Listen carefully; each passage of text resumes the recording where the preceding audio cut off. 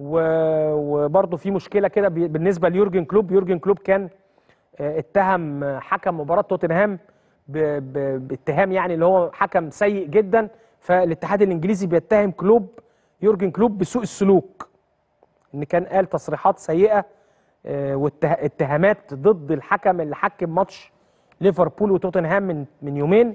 وكان ليفربول كسب توتنهام 4 3 فاتهم يورجن كلوب آه، الحكم المباراة باتهامات يعني إن هو آه، حكم سيء ومش عارف يعني قال شوية اتهامات كده فالاتحاد الإنجليزي بيتهم آه، يورجن كلوب بسوء السلوك بسبب اتهاماته ضد الحكم اللي حكم ماتش ليفربول وتوتنهام.